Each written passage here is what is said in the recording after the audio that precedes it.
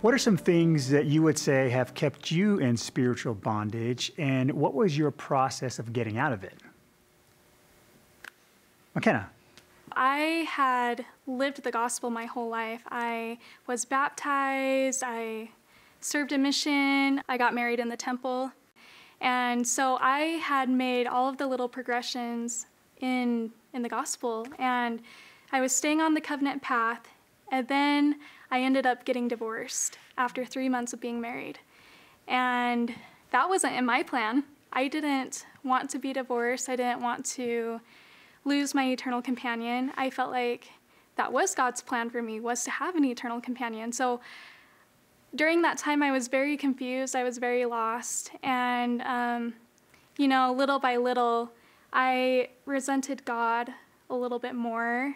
So then I had stopped going to church for a little bit. I had um, put my scriptures away for a while, but then, um, kind of like what we've been talking about, um, I just remembered you know, who I was. I, I realized that a little bit more of my identity was gone. Um, I used to be that girl that would play the piano for church, and um, I used to, you know, bear my testimony often. And when those things weren't happening in my life anymore, I just realized that I was different. Obviously, I wasn't in physical bondage, but spiritually, you know, I mm-hmm. I was angry. I wasn't myself. So I think I felt like I was in bondage because I knew something was wrong and I didn't know how to fix it. Wow. I didn't have the solution to solve my problem.